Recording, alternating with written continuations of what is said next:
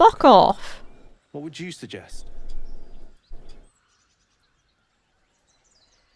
Customer experience, so I'll find your sister. Are you joking? I ain't got a clue who you are. No way I'm leaving Rena to you. But, Johl, Not a chance. We're getting her back on our own. Now come on. What a bitch. Okay, Johl.